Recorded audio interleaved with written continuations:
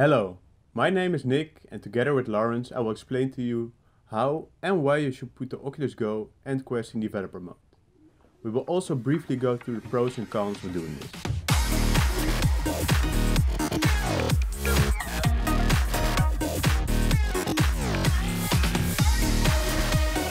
So before you can set up your devices into developer mode, make sure to set your sleep timer correctly.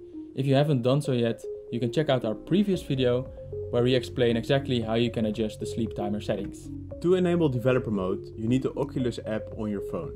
You cannot put the device into developer mode from within the device itself. So grab your phone and follow the following steps. So the first step is to enable Bluetooth on your phone. After this, open the Oculus app and go to the settings tab. In the settings tab, search for your Oculus Go or Quest Select more settings and toggle on developer mode.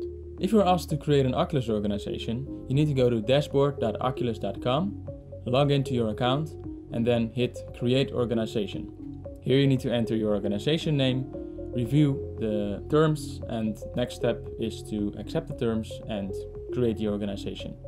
After this, you can go back to the steps that Nick just laid out to toggle the developer mode on for all of your devices. So now you know how to enable developer mode on your Oculus Go or Quest.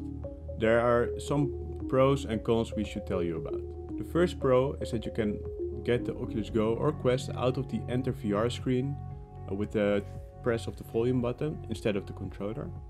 Another pro is that you can also sideload apps that are not in the Oculus Store. A con is that it's more difficult to connect your Oculus Go or Quest to a computer. This takes a few more steps. There will be a separate video on how to do this. There will be a link in the description below. Thanks for watching this video. Make sure to subscribe to stay tuned to more VR related stuff. See you next time.